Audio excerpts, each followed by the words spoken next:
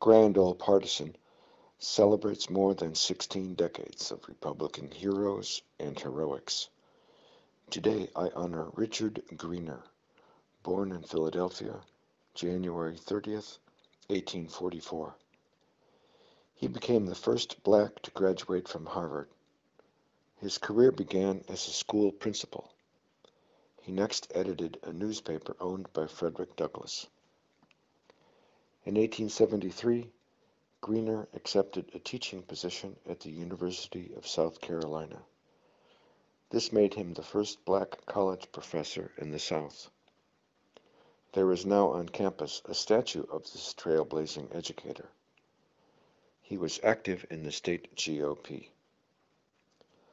When the Slavery Party regained control over the state, Greener moved to Washington, D.C.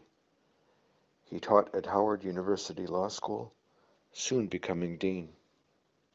Later, the Chester Arthur administration hired him at the Treasury Department. Next, he raised funds to build Grant's tomb.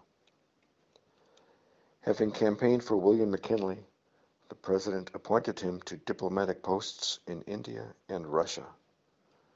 After this, he backed GOP stalwart Booker T. Washington in policy disputes with W. E. B. Du Bois. Back to basics for the Republican Party is my civil rights history of the GOP.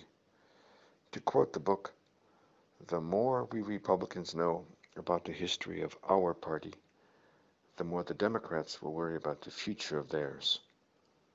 For more information, see grandoldpartisan.com.